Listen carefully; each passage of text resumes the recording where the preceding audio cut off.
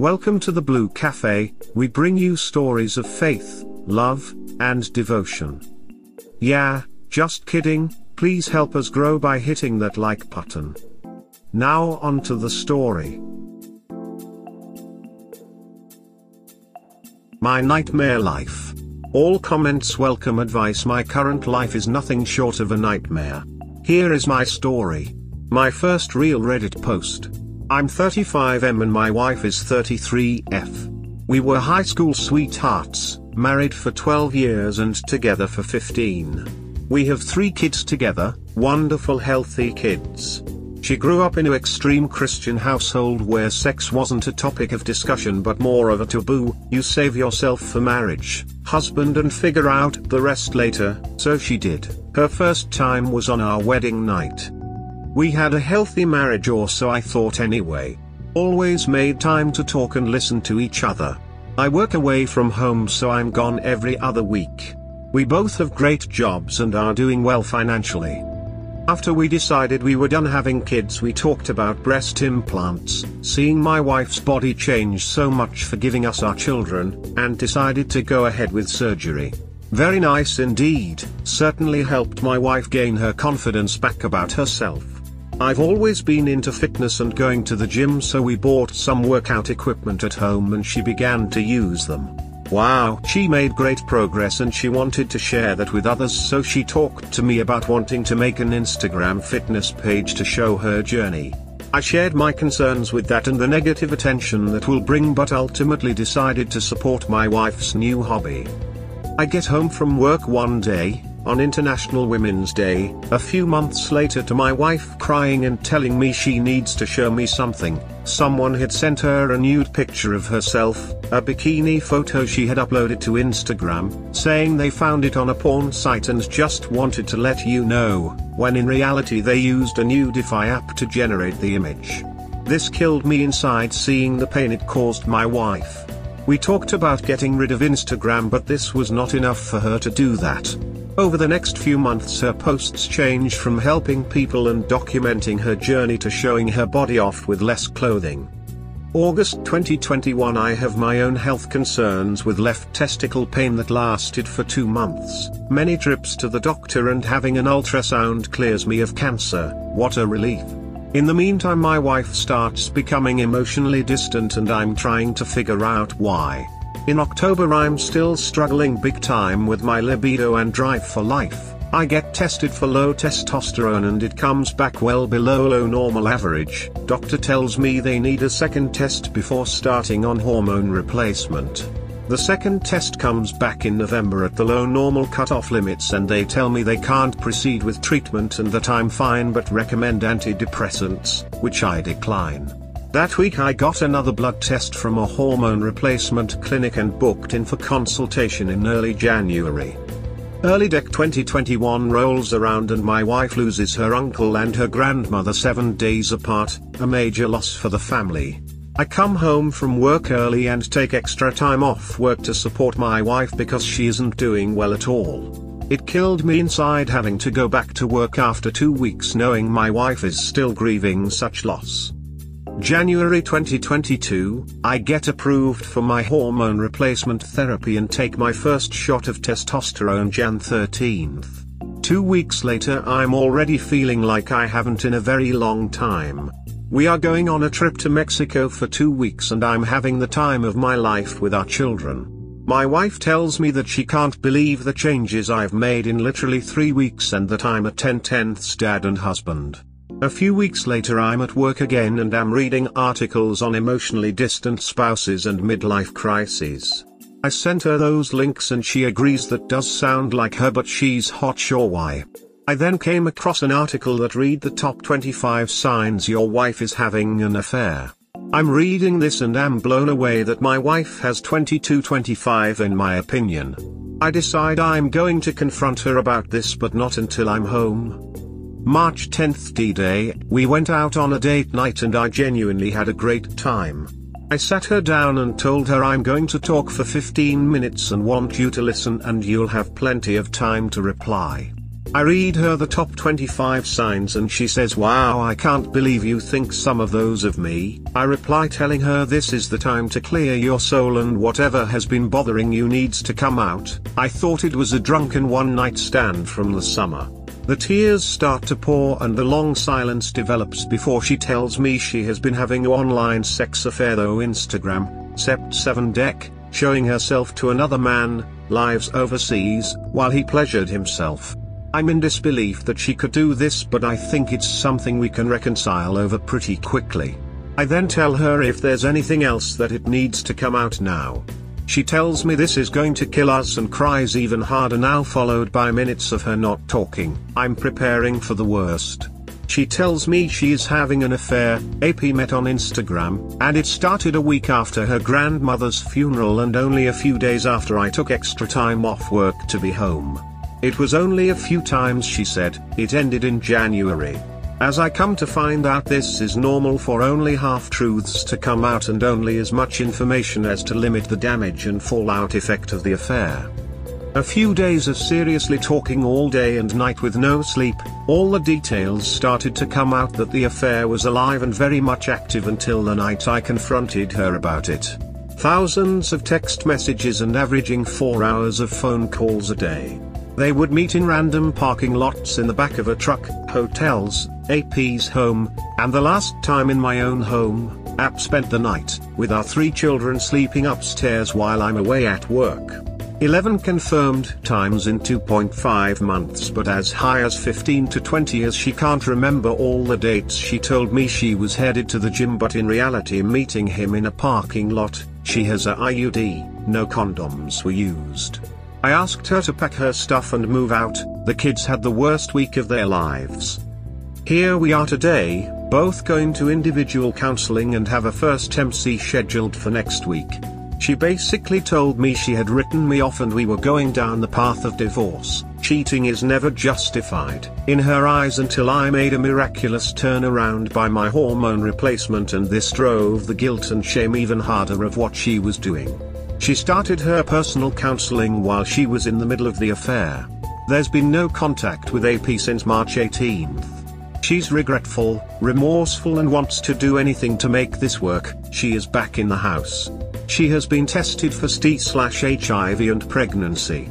She's reluctant to have sex or even kiss me and through open discussion has admitted she is having a very hard time getting over the affair feelings and the withdrawal from it.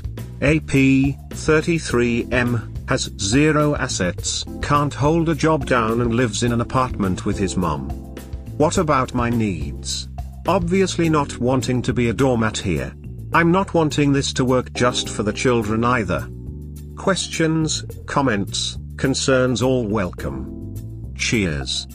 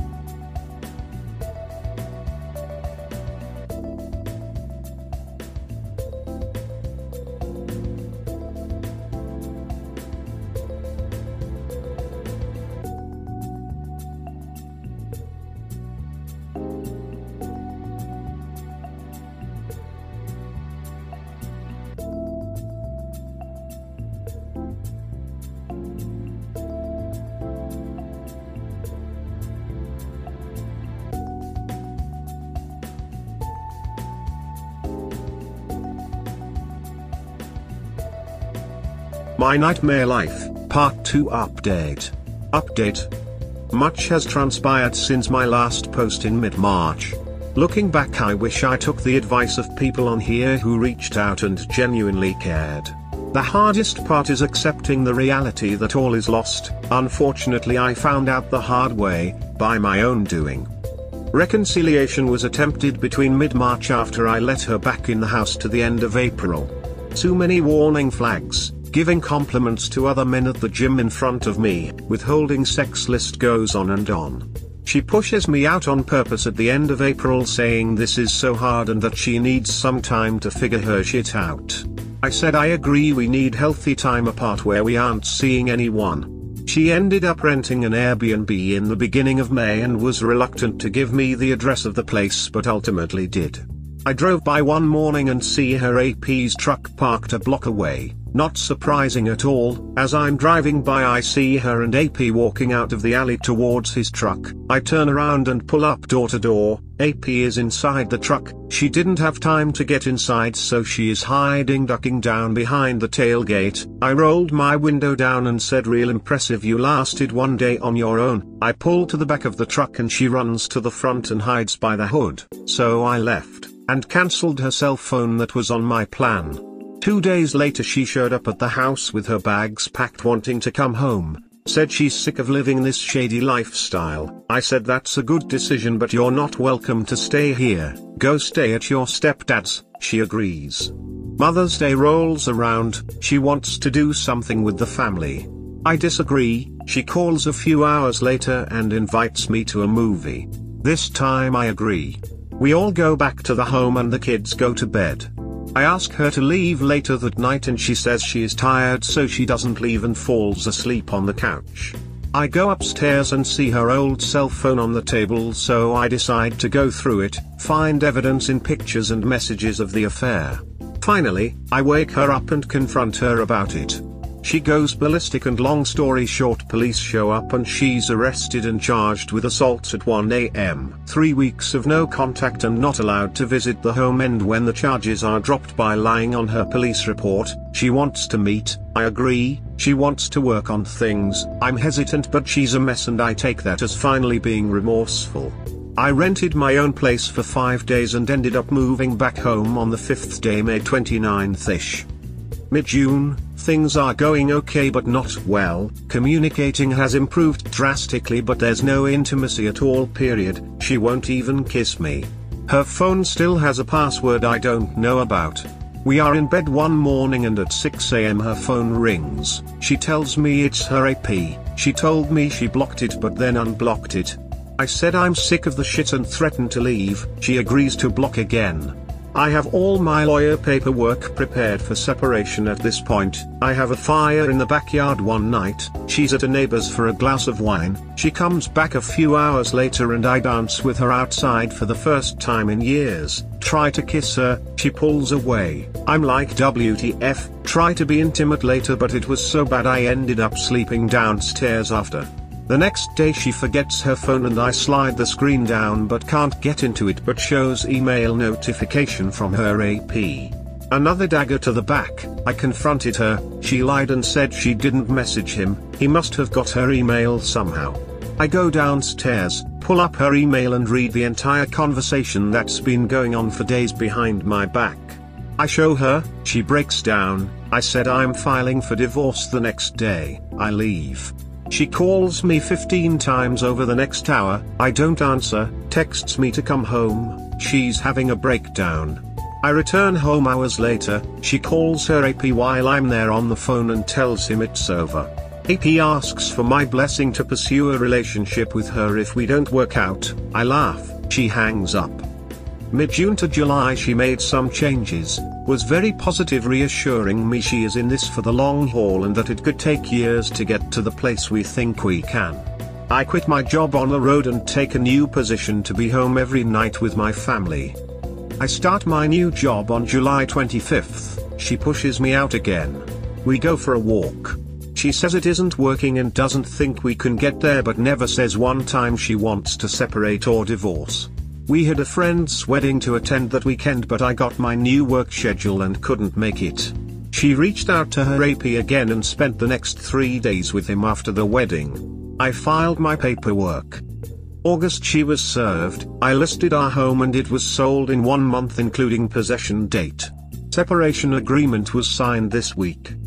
I'm in a much better place over the last few months being free from this madness which ultimately I created for myself trying to do everything possible to help this woman but she isn't the same one I married 12 years ago, obviously and unfortunately all at my expense.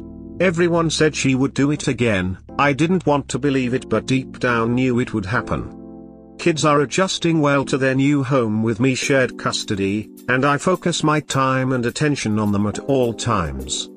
She's not with her AP anymore and he is apparently heartbroken. Recently she tells me I'm a great man, great provider, husband, father, all the qualities she's looking for, says she knows she won't find another man with even 50% of what I have to offer, but she isn't sexually attracted to me but hasn't ruled out getting back together someday. Going forward I can live with knowing I tried everything possible to work on our family unit, she did not and that's something she will carry to her grave. Until next time, triple threat. Isn't sexually attracted to me. But also maybe someday. Oh absolutely when she can't find anyone else and you become plan D tell her to duck off op. That's an unbelievable line to give anyone, man or woman. So true, she assumes that he will always be there waiting for her to return. So typical of cheaters, Op will come to realize that his life is so much better without her in it. This means when I want stability and a provider back I will come back when cheaters tell you how great you are and blah blah blah. Don't engage. If they ask why just say you're a liar and a cheater, any words that come out of your mouth are not genuine, your actions speak louder than words. Great minds buddy. Don't be anyone's plan B, she'll just cause you more heartbreak. You are worth much more. Stop talking to her about anything but the children. Seriously, just get away from her. She's toxic to your future happiness. Already done. But hasn't ruled out getting back together someday. I hope you responded with let me just rule that out for you, we are never going to get back together after what you have done to me. Sir, just move on. Dafuk. Wow. Is your name Job? You gave her so many chances to get her head on straight but it was in the affair fog. I don't think I would have given her one chance but you gave her multiple chances to end the affair but she didn't have any respect for you or your marriage. Sorry for your trials and tribulations but you are better now with her basically out of your life. Be sure to focus on your physical and mental health. We hope that by sharing these stories with interested folks like you, we can help people recognize the signs of a relationship in trouble, and avoid so many of these heartbreaking situations yourselves. Have a good day or night. Wherever you are,